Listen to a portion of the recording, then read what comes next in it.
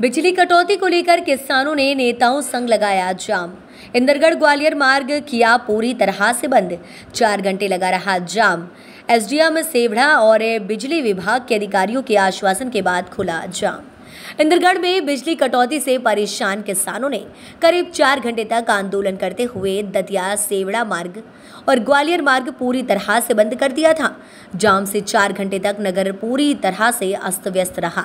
करीब चार घंटे बाद सेवड़ा एसडीएम और बिजली विभाग के अधिकारियों ने आकर आंदोलित किसानों को नियमित बिजली देने का वादा किया।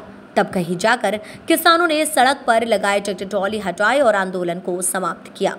बिजली कटौती से परेशान गरीब, करीब एक दर्जन ग्राम के हज़ारों किसानों ने आम आदमी पार्टी नेता संजय दुबे, कांग्रेस कमेटी के जिला उपाध्यक्ष केशव सिंह यादव और बीएसपी नेता लाखन सिंह यादव के साथ मिलकर बिजली विभाग के अधिकारियों की मनमानी और पक्षपातपूर्ण कार्यवाही से नाराज़ होकर आंदोलित करते हुए सड़क पर जाम लगा दिया है।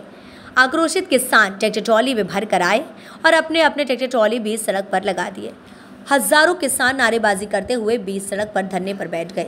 किसानों की मांग थी कि इंदरगढ़ ग्रामीण फीचर में पदस्थ उपयंत्री और लाइनमैन उनके क्षेत्र की लगातार साइट को काट रहे हैं और सिर्फ़ बिजली, भाजपा नेता के ग्राम दभैरा में पूरे समय लाइट दे रहे हैं। लेकिन बिजली विभाग के अधिकारी हैं कि आठ से दस घंटे भी नियमित लाइट नहीं दे पा रहे हैं। बिजली कटौती से परेशान किसानों ने इंदरगढ़ के ग्वालियर चौराहे पर जाम लगा दिया। किस आंदोलन में हज़ारों की संख्या में किसानों ने तीन घंटे से अधिक समय तक जाम लगाए रखा।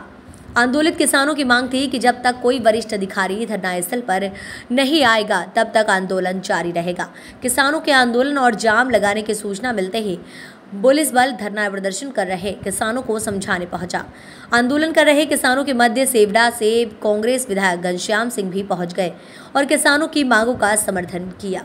आंदोलन में सुबह से ही आम आदमी पार्टी के नेता संजय दुबे, बीएसपी के नेता लाखन सिंह यादव, कांग्रेस नेता केशव यादव किसानों के साथ मेन रोड पर हज़ारों की संख्या में धरना दे रहे हैं। किसानों के जाम लगाने से सड़क पर ग्वालियर चौराहा से निकलने वाले वाहनों, ग्वालियर, भांडेर, दतिया, सेवड़ा एवं कामद पूरी रोड पूरी तरह से बंद रहा और यात्री परेशान दिखे। वाहनों की भी लंबी लंबी लाइनें लगी गई और जिन्हें व्यवस्थित करने में पुलिस को काफ़ी मशक्कत करनी पड़ी। सरकार निकम्मी है। जो सरकार निकम्मी है